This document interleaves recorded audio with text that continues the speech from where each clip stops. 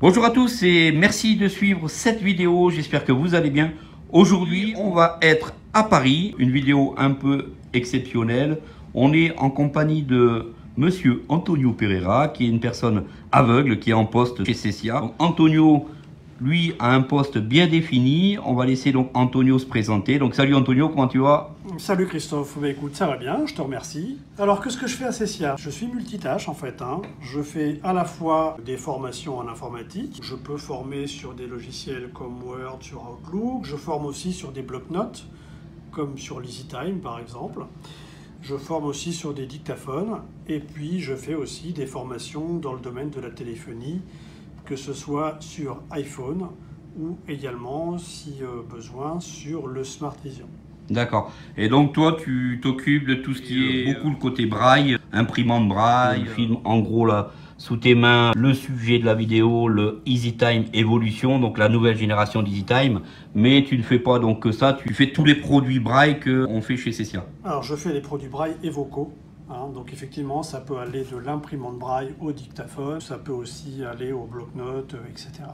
D'accord. Tout ce qui est produits vocaux, quand tu dis produits vocaux, c'est tout ce qui est GPS. C'est GPS. Alors, dans le GPS, on a ici euh, pour l'instant le, le Captain Mobility. Et on a les dictaphones de type Victor Reader Stream, de type Evo Edist, euh, toute la gamme Plextalk. On a toutes ces choses-là en fait. hein. C'est des choses dont on sera certainement amené à reparler au cours de différentes vidéos. Euh, c'est vrai que je fais à la fois ça, donc dictaphone, GPS, euh, téléphonie quoi. Oui, d'ailleurs, euh, comme dit Antonio, on va faire plusieurs vidéos ensemble avec Antonio pour justement vous présenter du matériel pour les personnes mal et non-voyantes. On va faire plusieurs vidéos en collaboration. Donc surtout, n'hésitez pas à dire en commentaire ce que vous avez envie de voir avec Antonio et moi. Nous, on va se faire un plaisir de vous faire les vidéos, de vous partager ces vidéos. On risque d'en faire de plus en plus. Donc dites-moi en commentaire si euh, vous désirez voir des produits un peu spéciaux, des produits un peu plus vocaux, des produits ici comme l'EasyTime Evolution ou d'autres plages braille, d'autres bloc-notes, puisque Antonio c'est un des spécialistes CESIA au niveau euh, de ce matériel. Et idem euh, sur la téléphonie, donc on va vraiment essayer de faire quelque chose en collaboration avec Antonio pour justement faire évoluer la chaîne, donner un peu plus de punch à la, à la chaîne et montrer aussi que les personnes non-voyantes peuvent avoir un poste de travail. Aujourd'hui, vous voyez, Antonio, lui, il a un poste. Ça fait combien de temps d'ailleurs, Antonio, que tu es chez CESIA Je suis chez Cessia depuis 2009 en fait. donc depuis 2009, beaucoup de personnes non-voyantes, malvoyantes sont en poste de travail. Et justement, le travail d'Antonio, c'est de leur adapter leur poste, de les former sur leur poste pour qu'ils puissent être complètement autonomes. Donc surtout, n'hésitez pas à partager cette vidéo au plus grand nombre autour de vous. Ici, on va justement voir avec Antonio la nouvelle génération donc de, ici que je vous filme en très gros, de l'EasyTime Evolution 32 caractères. Alors, on va tout de suite demander à Antonio. Donc, alors Antonio, donc c'est un produit de chez Eurobraille. Et qu'est-ce que donc l'EasyTime Evolution Alors, l'EasyTime Evolution, effectivement, bah, c'est une version supérieure au premier EasyTime, en fait. C'est une version qui est remise, entre guillemets, au goût du jour. C'est-à-dire que l'EasyTime Evolution, dedans, vous allez trouver un Windows 10, d'accord? Alors, c'est un Windows 10 familial de base, mais vous pouvez tout à fait obtenir un Windows 10 Pro.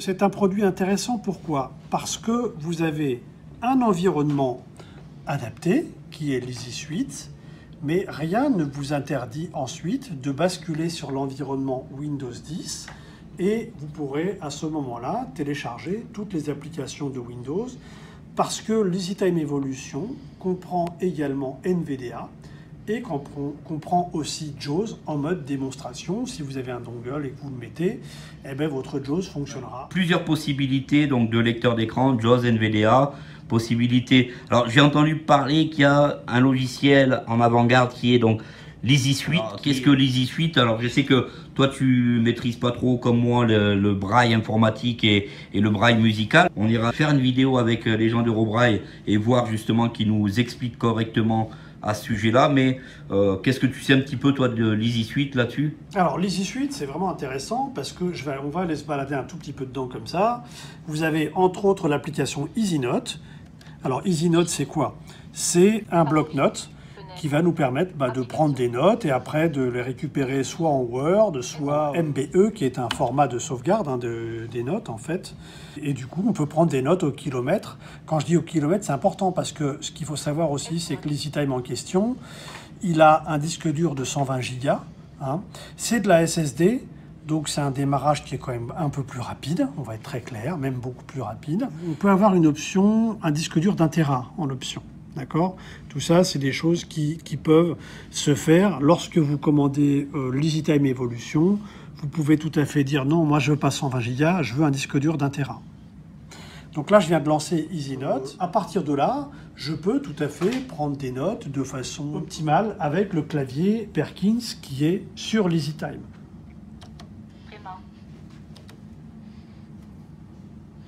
D'accord, donc en même temps que tu vas en fait euh, appuyer sur différents boutons, est-ce que tu peux nous faire un petit descriptif de l'appareil? Alors, l'EasyTime Evolution, c'est super intéressant. Alors, vous avez ici un clavier Perkins hein, de 8 touches.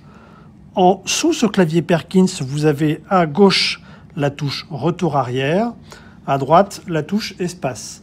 Si vous pressez ces deux touches de façon simultanée, vous obtenez la touche entrée. D'accord. Euh, quand on touche ce clavier, c'est vrai que les pouces se posent parfaitement sur, euh, bah, sur ce clavier. C'est un clavier large, un clavier euh, agréable pour le coup. Et... Donc ça, c'est le clavier en tant que tel.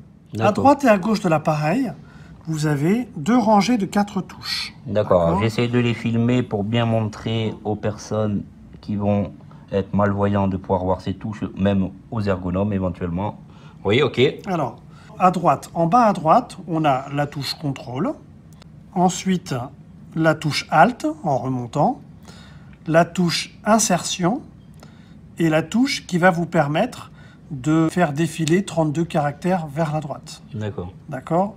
À gauche, vous avez la touche Shift, la touche Tabulation, la touche Échappement et la touche qui va vous permettre de reculer de 32 caractères. D'accord, donc en fait, ils ont réussi donc à simuler des touches Windows par le biais de ces petites touches qui vont permettre à une personne non-voyante de circuler sur un Windows comme le ferait une personne voyante. Tout à fait. Tout à fait. Au-dessus de ces touches-là, vous avez deux joysticks de navigation qui vous permettent d'aller vers le haut, bas, gauche, droite et de valider une action en appuyant au centre du joystick. C'est des touches à qui sont un droite et à petit peu gauche. voilà, légèrement euh, surélevées enfin, que les quatre touches dont je vous ai parlé à droite et à gauche. D'accord. D'accord Ici, vous avez la plage braille en tant que telle. Je dis ici parce que Christophe est en train de vous montrer la plage braille. Et au-dessus de cette plage braille, vous avez les curseurs routine. Les curseurs routine, ben, vous savez tous ce que c'est. Ça veut dire que si on appuie sur, euh, sur un de ces curseurs, eh ben, on va mettre directement le curseur. Moi, je vais appuyer sur le curseur au-dessus du U, hop, et voilà, mon curseur se trouve sur la lettre U. D'accord. D'accord C'est c'est une souris pour nous, entre guillemets. Voilà, on appuie là-dessus, hop, le curseur vient se mettre exactement à l'endroit qu'on veut atteindre. C'est un ordinateur pour les personnes aveugles et on va dédier cet appareil pour quel public? Ça va être un appareil qui est plutôt dé- qui est dédié aux braillistes, hein, pour le coup. Hein.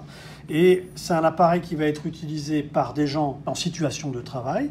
C'est aussi un, appareil qui va pouvoir être utilisé par les scolaires, par les élèves, parce que cet appareil permettra une véritable communication entre le prof et les élèves.